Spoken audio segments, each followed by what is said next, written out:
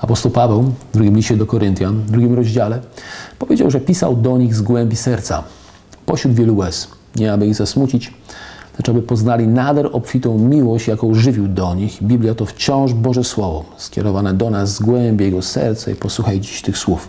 Ten nakaz daje Ci, Synu, Tymoteuszu, abyś według dawnych głoszonych o Tobie przepowiedni staczał zgodnie z nimi dobry bój, zachowując wiarę i dobre sumienie, które pewni ludzie odrzucili i stali się rozbitkami w wierze.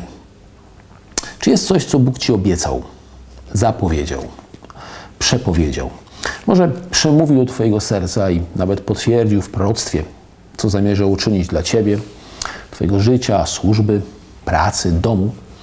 No, aby to słowo mogło się wypełnić, jak czytamy, musisz staczać z nim, zgodnie z nim dobry bój.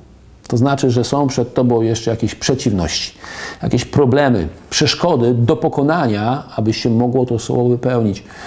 E, Więc jego rozkaz brzmi: staczaj ten bój. E, Przy tym zachowaj wiarę i dobre sumienie. Co oznacza chwyć się tego, co Bóg powiedział, nie puszczaj, powtarzaj to sobie, planuj swoje życie wokół tego, zmierzaj w tym kierunku oraz zachowaj dobre sumienie, czyli słuchaj swojego serca po drodze i, i, i bądź mu posłuszny. I wtedy to, co On Ci obiecał, wypełni się w swoim czasie. Chcę, abyś o tym pamiętał w tym tygodniu.